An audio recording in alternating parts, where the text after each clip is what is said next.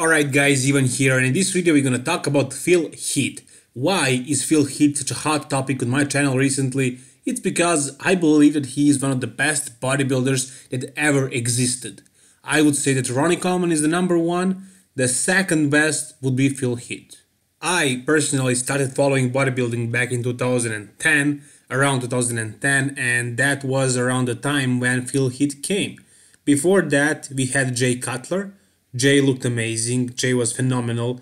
He was probably the best ambassador for the sport since Arnold. He was looking huge, he was humongous, he was a monster, he was a freak. And then came Phil. The reason why Phil is, in my opinion, better than Jay is because he had more complete physique. Oh man, I miss those days when we had Kai versus Phil rivalry. I was like 16, 17 at the time, and that was super interesting for me. And the quality of competitors back then was way better than it is today, guys. Let's admit, I mean, we had Phil, we had Kai, we had Dennis Wolf. He was peeled to the bone, his skin was paper thin, literally paper thin. Shawn Rhoden was there and he was super aesthetic at the time.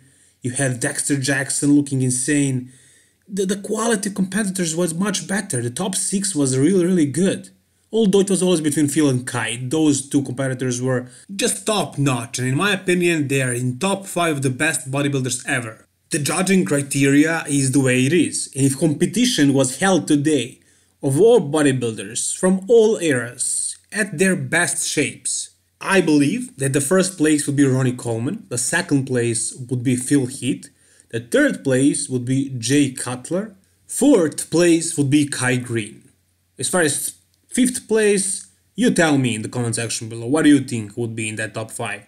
But in my opinion, this is the best 4 bodybuilders in the history of the world. And back then, these competitors were at the top of their game. In 2012, 11, that's when I started following bodybuilding and it was very very interesting, I gotta admit. And I miss those days. I gotta admit, I miss those days. And Phil is still here. He's not retired. He's still here. And there is a slight chance, not a big one, but there is a chance of him coming back and looking the way he looked a couple of years ago. And that is something I would love to see because he would blow away all those other guys. All those other guys. I mean, they are not even close to Phil when Phil is at his best. His back was his biggest weakness for a long time, but eventually it turned out to be his biggest strength and the reason why he actually won the Mr. Olympia. Imagine that, turning your weak points to your strong points. How impressive is that? He was basically complete, his body had no flaws. The only flaw that you could say that he had was his narrow shoulders. They were not the widest ever, but I don't know if that's really a weakness. I mean, that's just structure. It's not even a muscle. It's not something you can control. But by adding a lot of mass to his shoulders and to his back, he made that look not so noticeable. He created a great illusion. And simply the shape of his muscles was insane. He had a 3D look. His muscles were super crisp. He had such a thin skin, and that's one of his strengths. Jay didn't really have that.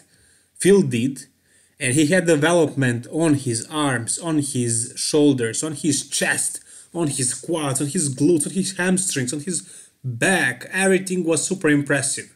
And in this video, we're going to talk about which year is Phil's best year.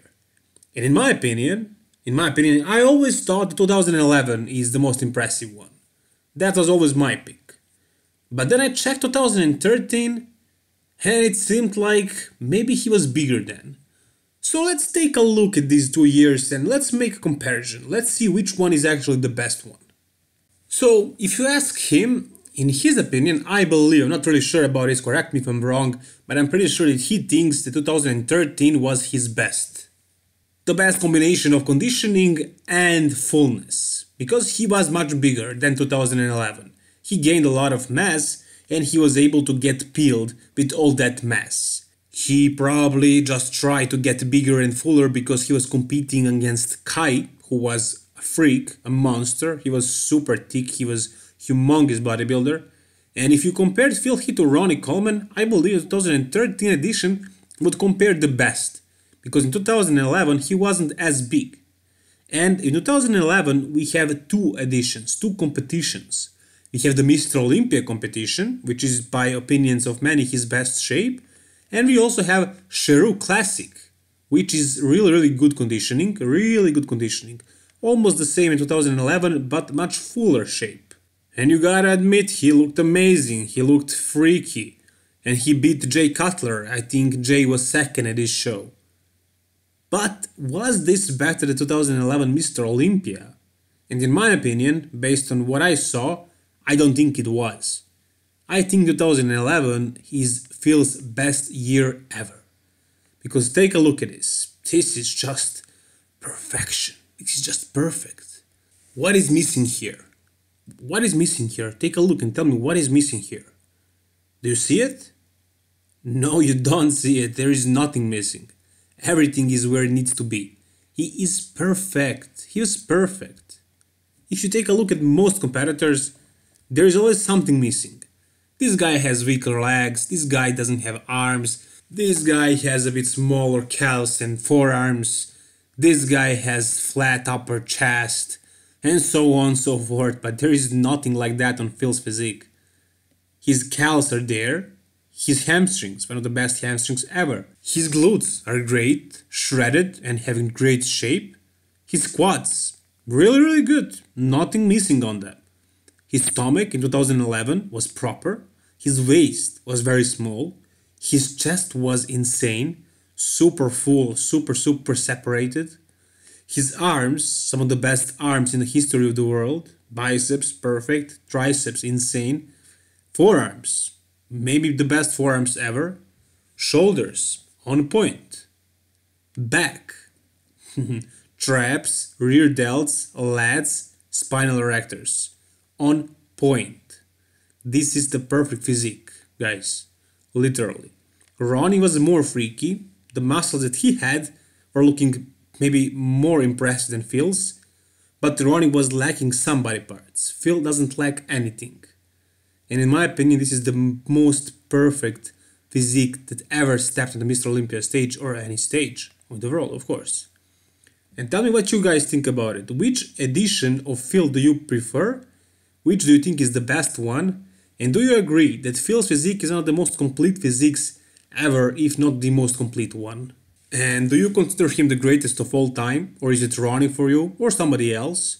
And guys, don't talk about the personality. I don't care if you find him cocky or arrogant or whatever. This is just strictly talking about physiques.